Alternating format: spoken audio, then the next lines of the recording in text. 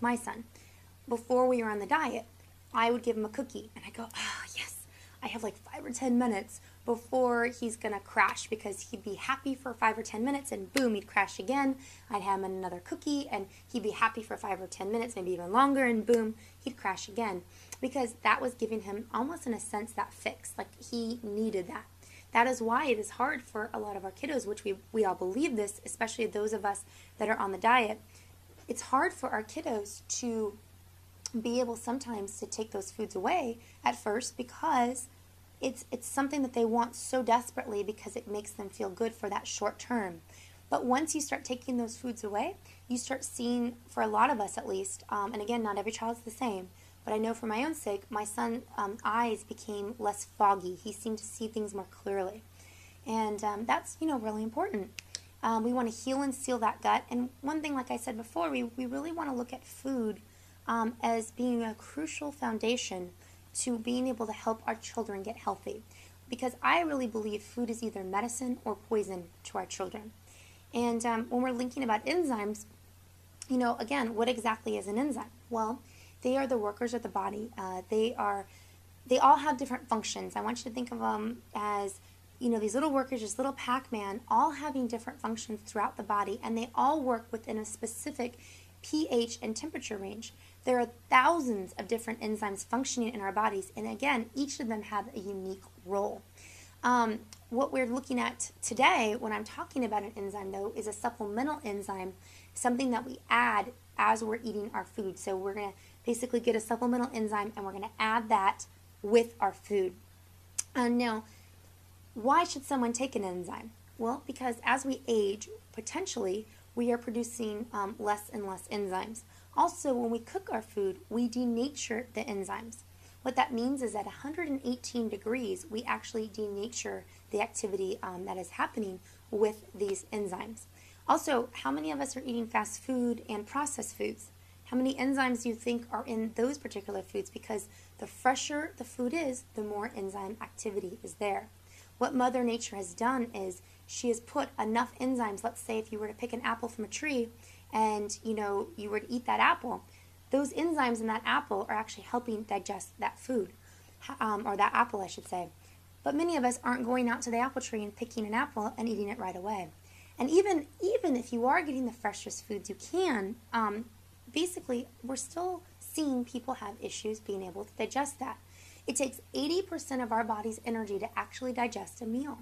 So we really want to take that stress off that body and be able to help assist that body in digesting that food uh, to really help our kiddos who aren't feeling um, really the way they should be. And again, why would a child with autism, let's say at the age of two, be having an issue with enzymes when I just said as we age, we potentially are producing less enzymes? Well, a child at the age of two, perhaps, and again, these are these are theories, but these are theories that many of us are believing, especially those of us that have seen our children get better with this kind of stuff um, or feel better, you know, many of the people are believing that the pathways could be blocked um, for the, these kiddos. Um, that and it could be blocked for lots of reasons. Some of them could be viruses, yeast, metals, bacteria, and so again, it's really important for us to educate ourselves on this. When we look at what an enzyme deficiency means or looks like, again, I've been talking about it this whole time. Gas and bloating, constipation, diarrhea, acid reflux, particles of food in the stool, heartburn, and really the list goes on. As I said that list, many of you might be sitting there thinking, gosh, I have a lot of those. And I'm not surprised because many of us are having enzyme deficiencies, not just our children. For example, myself, every time I eat a meal, I take an enzyme. Why? Couple reasons. One, I want to have more energy and I don't want to put that much stress on my body because I do believe as we age we produce less enzymes. So I don't want to be able to, I, I already know I'm going to produce less. I don't want to be able to use those, in a sense, enzymes out of my piggy bank, let's say, right? So I want to take those enzymes then to be able to help break up my food and, um, and not be tired. How many of you guys have had lunch, went back to work and felt exhausted? Or maybe you had a family gathering, you ate a big meal what happens after a big meal? Many of us sit on the couch and some of us fall asleep because our bodies are working so hard to try to digest that food. And so when we look at that list, really many of us have this, and not just our kids. So I really recommend for all of us to be looking at um, ways to, you know, create a healthier foundation within ourselves. Now, I talked about supplemental enzymes, and those are called digestive enzymes that you're going to look for in the store. One of my favorite brands, um, obviously, is Enzymedica, if you know my background. Um, and, you know, Enzymedica has a great line at many of the different health food markets. Um, one of my favorites is called Digest Spectrum. That is a broad uh, spectrum uh, digestive enzyme. I like to think of it as the A to Z enzyme. What that means is, um, how many of you guys know what um, a multivitamin is? Well, a multivitamin is what? An A to Z multivitamin. It has lots of different things to help lots of uh, different maybe deficiencies in your body, right? We want to be able to maintain a healthy body. Okay, well, when I think of a multiple, like our broad spectrum enzyme, I think of the A to Z when I think of Digest Spectrum. Basically, that has uh, four to five different products of Enzymedica's put into one, and what that is, is basically it's going to help with not just my general digestion, but with my gluten and casein digestion. It's going to help with my carb and phenol digestion, my lacto or my lactose digestion, um, and then it's also going to help with my beans and rice and, and veggies and fruit digestion, right? And many of us aren't just sensitive to one thing. We may be sensitive to mul- multiple of things. And so it's important to be able to look at that. Um, I'm sure there's other enzymes out there. That's the one I really trust um, because there has no fillers in it, uh, and it's um, all enzymes, and there is basically uh, no binders or anything. It's a capsule, and you're going to take with that one. The serving size recommended recommended dosage is two capsules per meal, breakfast, lunch, and dinner. Now, if your child is a grazer, many of our children eat five to seven times a day. What I would recommend is maybe look at the three bigger meals because those are the meals I really need to break down. If your child maybe eats a couple bites of, you know, a snack here and a couple bites there, I probably wouldn't be giving enzymes with every bite.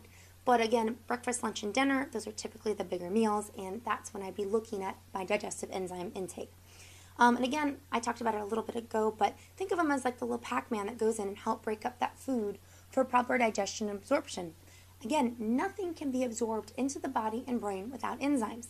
So many of us might be giving supplements already and we're wondering why they're not being absorbed.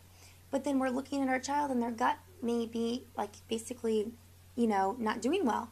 And we want to be able to help break up that food and then also be able to absorb everything the child's um, taking in that we want them to. Um, where are enzymes found? Enzymes are found in raw food. I talked a little bit about that when I gave the analogy of if you picked an apple from a tree and how Mother Nature has put enough enzymes in that apple. Um, they're also found, uh, they're produced in the pancreas and GI tract, and I talked about as we get older, we produce less of our own enzymes, and then also supplemental form, and I talked about uh, Enzymedica as being a choice to look into when you're looking for a digestive enzyme. Now, um, when does someone take an enzyme and how do they do it? Well, digestive enzymes are taken with the first bite of food, and that's the most optimal time to take them. Sometimes people like to take them 10 to 15, maybe even 20 minutes before.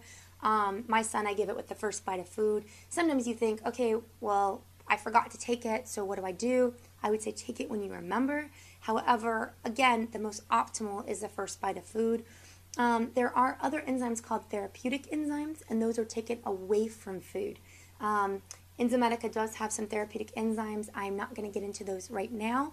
Um, but uh, what the nice thing, what, the reason I like what they do is because digestive enzymes are color coded in yellow, therapeutic are color coded in red on their actual labels um, and their bottles. So if you see a digestive enzyme from Enzymedica, you will see it be color coded on the top in yellow, and you know that that's a digestive enzyme. Um, and again, Digest Spectrum is one that you may want to consider. Um, if your child can't swallow, I would recommend twisting open that capsule and putting it into a small amount of either water or juice and stir that and give that with the first bite of food. Um, you can also um, add it to something like uh, the first bite, like of applesauce or pear sauce, a banana, uh, something that's room temperature, not hot, because remember I talked about enzymes are denatured at 118 degrees, so we definitely don't want to put it in something hot. We also don't want to put it in a whole bowl of food because it will basically help digest that entire bowl of food, which is kind of a cool science experiment, but not something that we want to uh, do. uh, if we're trying to get it into our child. Um, people ask all the time, what do I do for a child that's at school? Well, I would say get a note from your doctor and have uh, the school be able to give that before lunch. Some states have told me that no matter what, even if you did that, they won't administer it. What I would say then is, um, as soon as my child got home, I would try to give them a digestive enzyme. Or if you have the opportunity and you can get to their school at lunchtime, perhaps you can give it, or um, maybe another family member can do that. But again, you know, you got to do your best and make uh, sense of the world um, around you. So I would definitely give it in the morning. I would give it after school if that's the only time I could, and I would give it um, at night uh, for dinner. Um, people ask, can I take multiple enzymes at once? So perhaps I'm taking Digest Spectrum, and we have um, other options out there uh, that we can consider. Perhaps GlutenEase, which is just helps with uh, gluten and casein, um, but maybe our children are having severe issues with that. So just like a multivitamin, right? Um, if I were to give a multivitamin and um, my child was lacking in calcium, I may give calcium on top of that multivitamin, right? So same thing with a product like Digest Spectrum, which is the A to Z um, when you're looking at enzymes. Um, maybe I give two of those with breakfast, but maybe my child really has a huge sensitivity to gluten and casein, and I'm not really um, on that diet yet because I'm trying to take baby steps to get there. Perhaps then I would add a GlutenEase, um, and again, that's another digestive enzyme from Enzymedica to the Digest Spectrum um, until my child uh, got on the proper diet or perhaps um, the, gut began to heal better. Um, because again, remember, Digest Spectrum does have uh, a blend uh, in there like GlutenEase, just not um, in the same potency. It's not as high potency um, as GlutenEase. Um, the other thing is, um, the neat, nice thing about enzymes is they'll never go wasted in the body. They will always find something to do. Um, one note for you guys to know, um, especially if your child's not swallowing capsules, because you know you're twisting that capsule open and you're figuring out a way to either get in a liquid. You don't want to put it in a whole thing of liquid because you want to get that within the first couple bites of food. But note uh, that sometimes, not just with enzymes, but almost a lot of our different supplements will, will do this. Um, I noticed this with my son.